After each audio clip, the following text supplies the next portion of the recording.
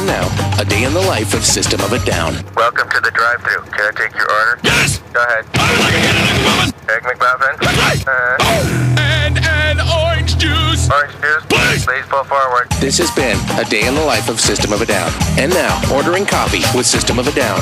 Welcome to Starbucks. Pick up like a coffee! I would like a Canada coffee! Uh, what would you like? I would like a Anything else? Sugar! Of course.